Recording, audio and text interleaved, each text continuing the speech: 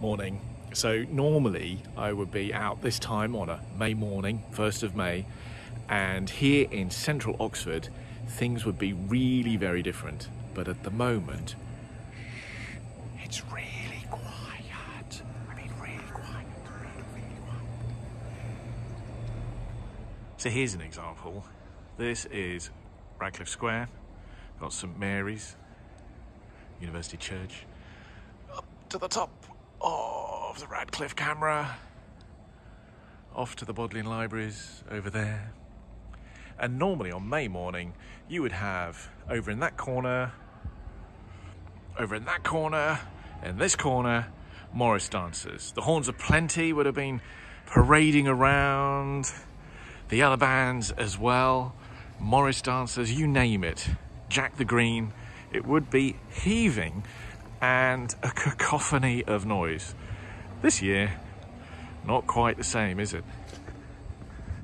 Just a few students sitting on the steps of the Bodleian.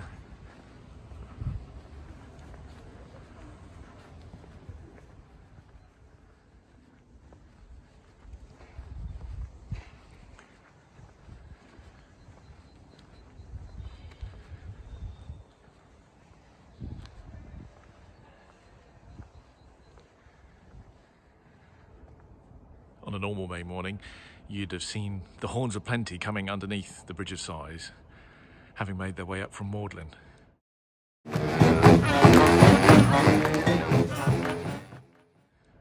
Not this year.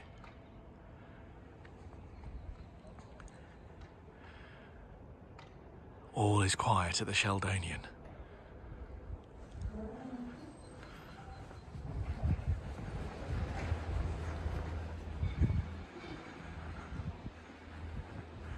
So a few people on the steps of the Weston Library.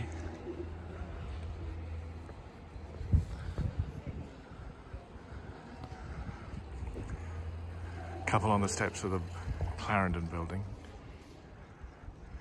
But otherwise, really very different to a normal May morning.